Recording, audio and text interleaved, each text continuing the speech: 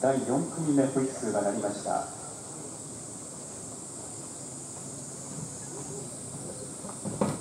走路の内側におりますのが佐藤選手青森県八戸工業高校です。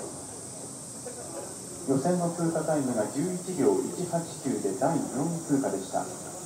対する伊藤選手三重県朝家高校。予選通過タイムが11秒350で第9位通過でした。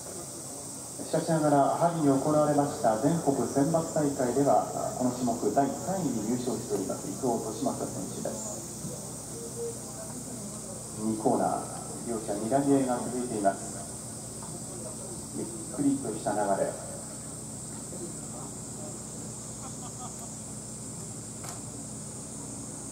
えー、先ほど終了いたしました第3組目の対戦、えー、結果ですが先着は梶原大地選手福岡県郵政高校記録が11秒520でした。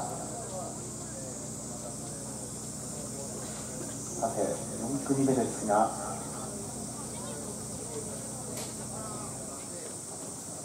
前が佐藤後ろが伊藤です。睨み合いが続いて今3コーナーに入りました。佐藤選手は春の選抜大会この種目は8位で優勝しております3コーナーから2センターです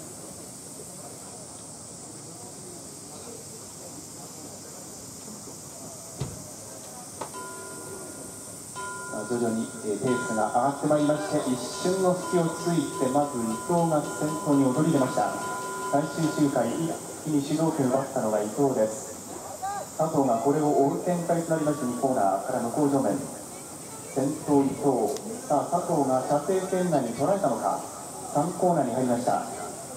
これは直線勝負となりそうです。伊藤佐藤で一騎打ち直線コースに帰ってくる。伊藤先頭さあ組み合う佐藤伊藤佐藤伊藤佐藤最後は佐藤が差ししてゴールゴールは最後は佐藤が差し切ったのか正式な決定までお待ちください